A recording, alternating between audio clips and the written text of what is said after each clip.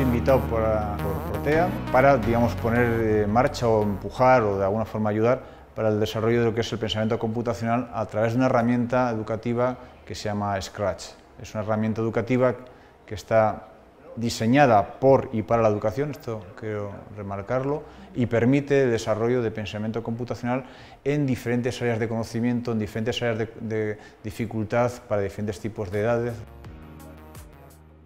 John Bustillo Bayón es un profesor especialista en tecnologías educativas de la Facultad de Educación y Deporte de la Universidad del País Vasco.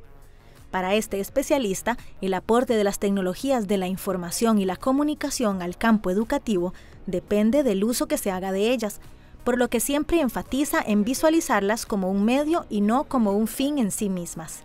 Cuando damos este tipo de, de posibilidades, lo que hacemos es permitir que las personas aprendan a pensar mejor. Creo que no se debería privar hoy en día a ningún muchacho, de ninguna muchacha, de adquirir este tipo de, de habilidades que son habilidades o competencias, porque son equivalentes a lo que en otros siglos fue la lectoescritura.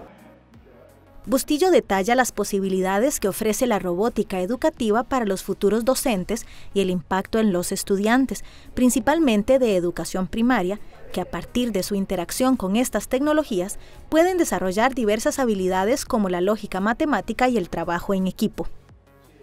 Lo que actualmente se está haciendo es trabajo por proyectos donde las asignaturas pierden su sentido y tienen sentido los retos.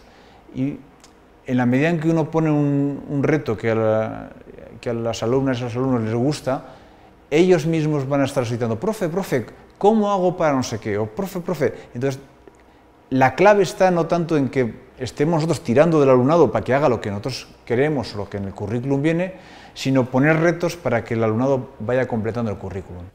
Para este investigador vasco, un aspecto importante al hablar de tecnologías educativas es enfocarse en promover el desarrollo de habilidades y competencias, más que en el uso de aparatos tecnológicos.